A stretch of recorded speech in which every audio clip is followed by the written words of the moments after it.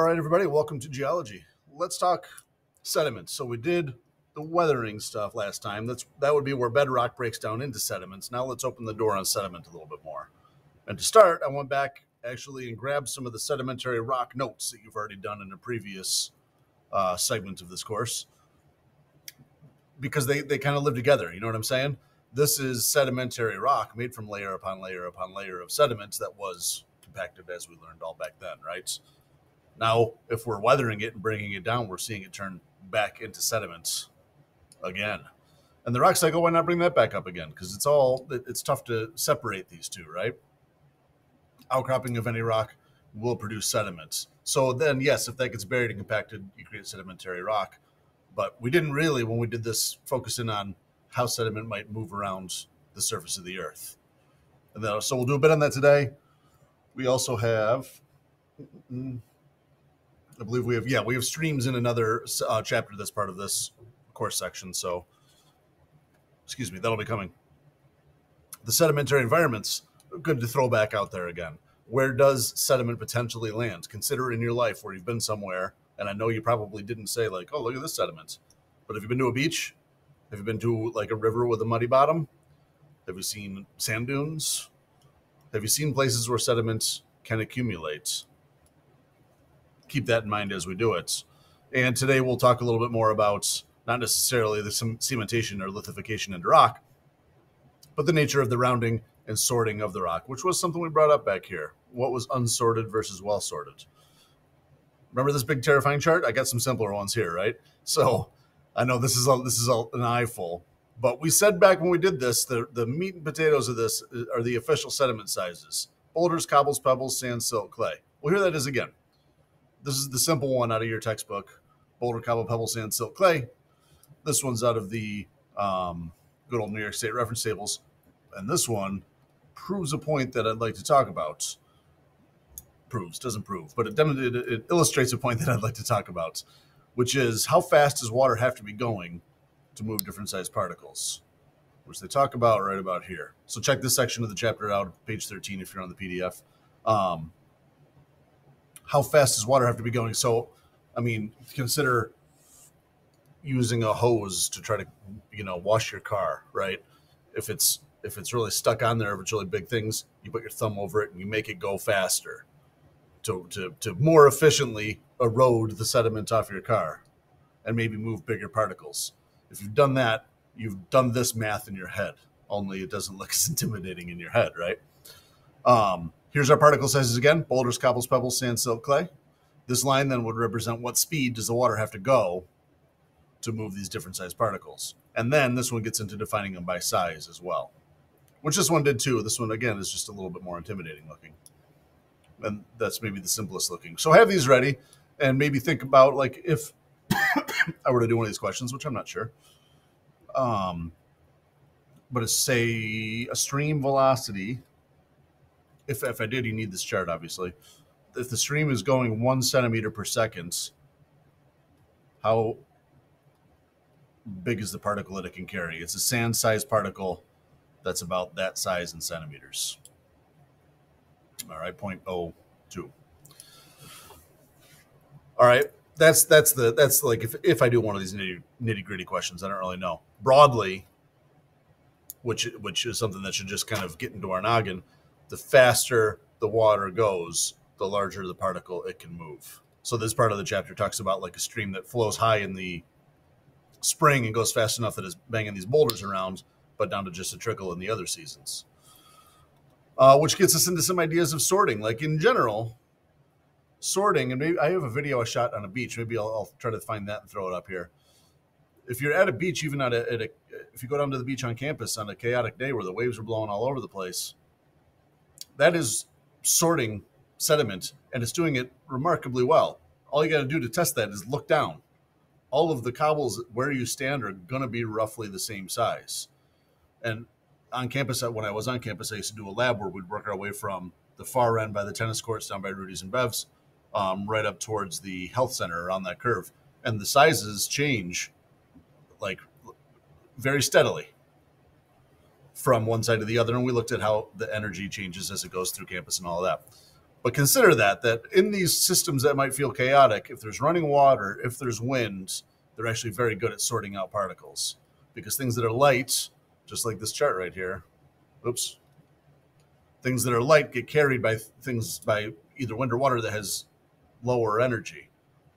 Things that are heavy can't be carried by things that are lower energy. So, like whatever it is, it can pick up everything smaller, but it can't move anything bigger. So the smaller things all get carried somewhere else. And therefore like along lake ontario from campus and where i live over in sterling and all of that you've got all the cobble beaches up towards there being sand beaches out the window here in uh, the east end of lake ontario where there's sand dunes sandy beaches things like that. So sorting and rounding kind of live together. The more well sorted also i mean you think about how if it's traveling in the stream and i don't have the last set of notes open, but we had that thing open where we looked at how sediment like either is in suspension or is part of the bed load that's bouncing around. Well, the longer it travels in the stream, generally the more abrasion that takes place, the rounder they're going to get. So therefore, really what you can do is that's why sedimentary rocks, that's maybe one of the arguments for them being a cooler one, because if you go and analyze the sediment, you can figure out its history. Is it well sorted? Is it well rounded? what markers do I look for to find out exactly what environment this was and what was else what was going on elsewhere to produce this sediment to drop it down into whatever this specific depositional environment was. And you start to get a picture for what the earth looked like, like the pages of a book a long time ago. All right. Anything else we want to hit up up here? Grain size, composition. I think we're good and then we'll talk about soils a little bit and uh, call it a quick one. All right, soils. Um, so I don't know. Maybe it's a weird way to define it, but it's what I've done in the best. A thin layer between the. Let's just get a color going here. Atmosphere. Bedrock, right? What's going on there? And it really, this is going to be the thing. We'll, we'll put a star next to this or something that develops due to the weathering of the underlying bedrock. We know from the last thing you did weathering is the breakdown, and biological activity from life processes on top. So those two, uh, there's no way there's not going to be a question on that. Work together to form what a soil is. Take the underlying bedrock and break it down. That from the bottom. Take whatever organically is going on on top, and what does that do to the soil? What does it add to the soil through seasons, through whatever going is going on in that climate? Let me pause here. Sorry about that. Uh, what's going on, like life process wise, to create that soil, right? So think consider two very different examples. There's the Adirondacks, where we've got an extremely hard bedrock. What does that mean in terms of weathering? It does not weather easily. But it's in upstate New York where there's lots of humidity, We've got the seasons going back and forth, so you end up with a high organic content. For anybody that's done some hiking up there and uh, stepped in some of that mud, it's like a rich black organic soil. So much and so that in some of the sections of the high peaks, they don't let you have fires because it, it's so organic the soil that it can like burn within the soil. Uh, so this take that and just compare it to a random desert, a desert I've never been to, right? So there's plenty of bedrock available. It's very low life. So if you just consider those in terms of like soil formation, one is since they form from the breakdown of that rock and whatever's going on organically on top, that's why the soils in the desert versus the Adirondacks would look very different, right? It's kind of like picking two dramatic endpoints to illustrate a point. Now, does it get more complicated than that? Sure. Look at that uh, uh, what ternary diagram, right? And different ways that they can form in different climates. I won't bust your chops about specifics here. We'll keep it broad, um, but keep that in mind. And certainly, those two. There's no again. There's no way that I won't do a question about that. Um. So, and I threw some mass wasting stuff in here, but I think I'm going to hold off on that so I don't keep you here too long today. Um, and another thing, and this is especially true in New York, some of what we see develop in place and some are transported. Now, we haven't really brought glaciers into the party so far in this course, but glaciers in this area of upstate New York were potentially like a mile thick. They could carry an enormous amount of soil materials and uh, drop them off. So what you might see then is uh, soil formation taking place, which again, bedrock breaks down and, and life or develops organic material. But some of it is that glaciers brought that in too. So around here, it's like a glacial plain. We've got all kinds of that glacial. We've got bedrock, a lot of glacial till, and then on top of that, some soil. For example, you can see that here. If you've been to the bluffs at the Sterling Nature Center or Chimney Bluff State Park or Fairhaven uh, Beach State Park, um, they're all drumlins. It's a glacial feature we'll learn eventually. And Lake Ontario has been kind enough to go cut these drumlins in half so that we geologists can go there and geek out and look at them, right? So, a couple things to note in this picture. One, this is all glacial till. And how do I know that is an interesting point. It's a it, and it brings in this sorted versus unsorted idea that I brought up towards the beginning of this video. And your book maybe has in there, maybe doesn't. I thought it did. But uh sorry everybody. Okay. Sorted versus unsorted. The glaciers being that big and powerful carry these enormous amounts of material and drop them all at once so this is if you go to the Sterling Nature Center and go to these bluffs, which I recommend, they're great. You're going to get all the particle sizes all in one big pile: boulders, cobbles, pebbles, sand, silt, clay. They're all visible in this shot right here from the beach. Right, look at the size of that boulder, embedded in things as tiny as clay. It's all of them, completely unsorted, and that's a signature of a glacial deposit. The glaciers push everything, drop it, and yes, a couple more intricate things happen, but long story short, that's it. They drop all that material and don't bother to sort it out at all because the agents that sort things are like your wind and running water. So you get down to the beach at the bottom, and it's like a cobble beach. This is from an old field trip. It's like a cobble beach. Those are all sorted. And the sands and silts, you can see the water looks kind of turbid there, a little bit muddy. Sands and silts are being carried away, cobbles and pebbles are being left behind. And certainly along the beach, if you go a little bit, you can find big boulders sitting around. They're not going anywhere either, right? So that idea of sorting kind of hides in there. Now, what we have, I don't know if I can zoom in on this. What we have right towards the top here would be then the formation of a soil that's happened post glaciers. You've got a thin layer right here with grass on top, and you can see how it's like a rich organic thing. I've got another slide. Let me grab it. Quick pause.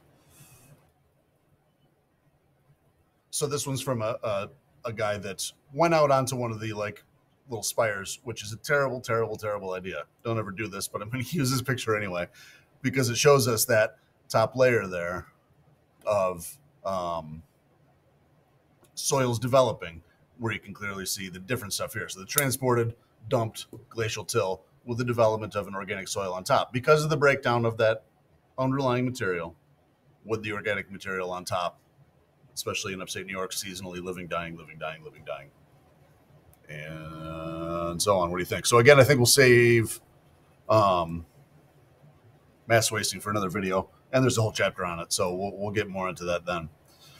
Uh, the horizons. I mean, take take a peek at this. Maybe I'll come up with one question that's pretty close to literally what's on here, just to like throw it out there. But uh, you know, for non majors, I think memorizing all of this. If you're a major, you might want to get your get your hands dirty with this a little bit. Um, but this is like a naming system for what layers you might find. And then these can all be different in different climates and different bedrock sources and things like that. So it's not it's a uh, it's a deeper story than this. Finally, like consider soil as a resource. It, it's a very slow developing thing, and it's it's one of those like resource management things that just I don't know. It's not too not too exciting, right? To to say to talk about soil conservation. It's not like a super you know exciting thing to talk about soil conservation when there's other like you could think about water and, and rainforest and all of that. You know, habitat. Those those are maybe a little bit more exciting, but consider it. Um, what farming practices and, and if you've ever uh, read about the um, Dust Bowl, it's it's it's unbelievable what happened throughout the United States in that era. Uh, maybe we'll do it a little bit more, depending on how we go at the end of the year when it comes to talking about resources. Um, but you can see it around here. You can see where there are fields that are farming fields that are that are cut right down to like the little corn stalks every year. Then consider all of the rain and snow melt that's going to happen on that. That's going to transport that soil away to then come and do it next year. It's a it's being washed into streams and rivers faster than it is developing in these fields. And I'm not like you know I've got friends that that that I'd say hard job to, to be a farmer, and I know it's it's it's it's tight and it's not like uh, I don't want to stand here uh, on my high ground as the as the guy saying don't do that. You don't have to listen to the geeks.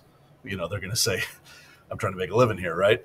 But broadly, how could we like have processes and practices that are better at conserving that soil, considering the length of time that it takes to develop and how easy it is to wash away? I will not quiz you on Canadian soils. Deal? All right, let's call that video good. We will see you soon. Keep up with chapter eight here, and then we'll get into the next two very soon. Thanks, everybody.